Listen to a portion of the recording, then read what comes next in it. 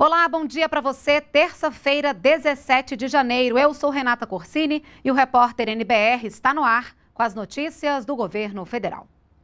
Começa daqui a pouco uma reunião entre o ministro da Justiça, Alexandre de Moraes, e secretários de Segurança Pública dos estados para discutir a situação dos presídios. Vamos então conversar ao vivo com a repórter Paola Deorte, que está lá no Ministério da Justiça. Oi, Paola, bom dia para você. Oi, Renata, bom dia para você, bom dia a todos. Olha, Renata, a ideia é discutir medidas imediatas para o sistema penitenciário brasileiro e também a implementação do Plano Nacional de Segurança, aquele plano que foi lançado pelo governo no dia 6 de janeiro. Essa reunião ela acontece então aqui no Ministério da Justiça a partir das 9h30 e logo depois o ministro da Justiça, Alexandre de Moraes, ele vai até o Palácio do Planalto para uma reunião com o presidente Michel Temer. Além dessa reunião de hoje, há uma reunião também amanhã que acontece no Palácio do Planalto entre o presidente Michel Temer e os governadores dos estados, justamente para discutir então os acordos de, de cooperação para a implementação do Plano Nacional de Segurança. Renata. Obrigada, Paola, pelas suas informações. Bom trabalho para você. Uma nova oportunidade para jovens que cumprem medidas socioeducativas. É o programa Aprendiz na Medida.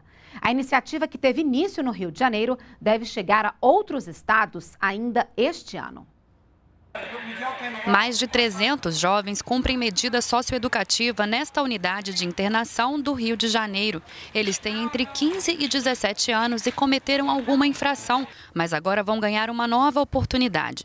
Isso porque vão fazer parte do programa Aprendiz na Medida, que vai ajudá-los a se reinserir na sociedade, oferecendo trabalho com carteira assinada e qualificação profissional. O projeto Aprendiz na Medida é uma iniciativa do Ministério do Trabalho, em parceria com uma gama de atores que estão trabalhando em prol de desenvolver algum projeto específico para esses jovens que estão cumprindo uma medida socioeducativa por algum deslize de vida que ele venha a ter cometido, é, sempre no contexto da aprendizagem profissional, é, levando em consideração os aspectos da legislação da aprendizagem profissional, onde temos como prerrogativa básica qualificação profissional em paralela com prática de mercado de trabalho. O diretor conta que a ideia é expandir o projeto também para outras partes do país. Nós temos isso quase como obrigação do nosso trabalho, até porque interferindo de forma positiva, formal na vida desses jovens, mostrando a eles que é possível eles terem possibilidades de ganhar a vida é, formalmente dentro do que a sociedade espera e exige, é, a gente está falando em diminuir a criminalidade do futuro. São em salas de aula como essa que os jovens do programa Aprendiz na Medida recebem toda a base teórica para colocar em prática o aprendizado.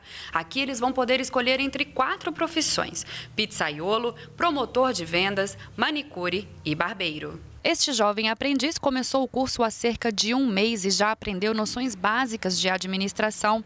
Ele fala das expectativas para o futuro. Espero sua melhoria, terminar a faculdade, é, é, agora eu quero, é, com esse dinheirinho que estou ganhando, ajudo, posso ajudar minha mãe. Estou guardando também para tirar uma carteira de motorista com fizer 18 anos. Para o rapaz, ter uma ocupação com carteira assinada abre portas para o mercado de trabalho. As pessoas veem assim, ah, eu saio de cadeia, aí se eu ficar só parado em casa, né, que já imaginar que eu estava continuando a mesma vida, mas com trabalho não, já veio como uniformizado, saindo de casa, vai para trabalhar, já, já não, ele quer mudar mesmo já tem outra impressão. O ministro da Fazenda, Henrique Meirelles, está em Davos, na Suíça, onde participa do Fórum Econômico Mundial. Em entrevista à imprensa, ele disse que a economia brasileira vai voltar a crescer já no primeiro trimestre de 2017.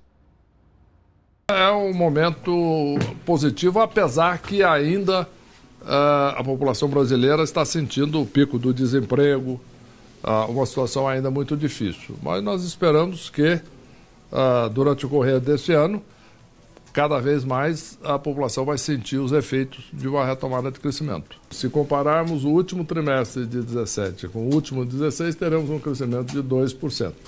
Se compararmos média contra média, é o que você está chamando de ano, é a média de 17 de PIB, a média de 16 de PIB. Isso aí será um crescimento certamente é, bem menor é esse que o, o FMI revisou para 0,2. O FMI tende a ser mais conservador.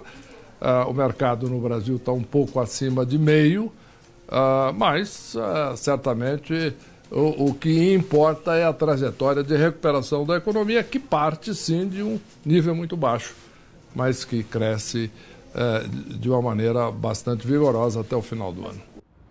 O Fórum Econômico Mundial começou hoje em Davos, na Suíça. O Brasil está representado pelos ministros Henrique Meirelles da Fazenda e Marcos Pereira, da Indústria, Comércio Exterior e Serviços, além do presidente do Banco Central, Ilan Goldfai. O evento, o evento discute temas como imigração, finanças, negócios, inovação e relações de trabalho. Nós ficamos por aqui, voltamos às 10 da manhã na próxima edição do Repórter NBR. Acompanhe as novidades em nossas redes sociais. Um bom dia para você e continue com a gente aqui na NBR, a TV do Governo Federal.